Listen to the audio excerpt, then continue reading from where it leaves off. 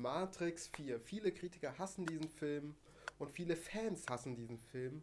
Und ob das wirklich so stimmt, ich finde persönlich nicht. Ich finde, dass dieser Film als eigenständiger Film eigentlich ziemlich unterhaltsam ist. Er ist nicht besonders gut, aber auch nicht besonders schlecht. Er ist eigentlich ziemlich solide. Natürlich ist er im Vergleich zu den alten drei Teilen deutlich schlechter. Ich würde sogar sagen, dass es der schlechteste Matrix-Teil aller Zeiten ist. Aber wenn man die alten Matrix-Teile nicht kennt, weil man der Meinung ist, dass sie zu alt sind oder was weiß ich, aus welchen Gründen auch immer, und Matrix 4 sein allererster Matrix-Film ist, der wird von diesem Film begeistert sein wahrscheinlich und wird wahrscheinlich Bock haben, nach diesem Film die anderen drei Teile nachzuholen. Nur nach diesem Film als Matrix-Fan wird man ein bisschen enttäuscht sein, weil er viele gute Dinge, die in den ersten drei Teilen eigentlich bewundert wurden, äh, wieder negiert. Er fängt interessant an, wird ein bisschen albern und dann wieder ein bisschen aufregend. In der Mitte denkt man sich so, wow, dieser Film ist schon ziemlich scheiße.